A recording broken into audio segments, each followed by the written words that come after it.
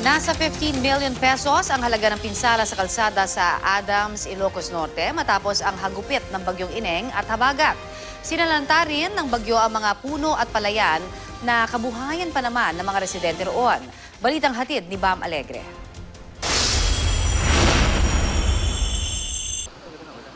Dahil sa malakas na ulang idinulot ng bagyong Ineng, marami ang landslide sa access road papasok sa Adams, Ilocos Norte. Mga habal-habal lang ang nakakalabas-masok sa bayan. Sinamang Arhel at iba pang namamasada, nagbayanihan para makalikha ng daan palabas ng bayan.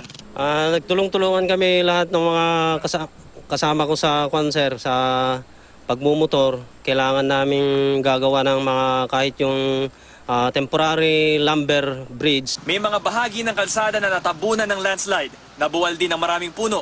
Nagmistula ring ilog ang ilang bahagi ng kalsada dahil dito na dumadaloy ang tubig mula bundok.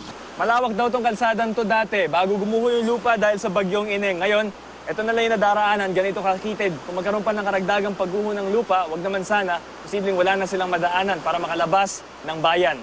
Inano din ng rumaragas ang ilog ang tulay na kahoy na naguugnay sa bayan. Kaya mga taga-Adams, dito sa Makitid at kinalawang na hanging bridge dumaraan. Nasa 15 milyong piso ang halaga ng pinsala sa kalsada at hinihintay pa ang heavy equipment mula ibang bayan bago mag-clearing operations. Sa inventaryo ng lokal na pamahalaan, 40% ng punong namumunga tulad ng rambutan ng nasira ng bagyo. Isandaang ektarya ng palayan ang napinsala. Yung mga kaingin nila dapat hindi na nila ginagawa.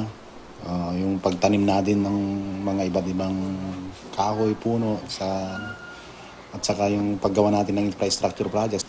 Bam Alegre, GMA News.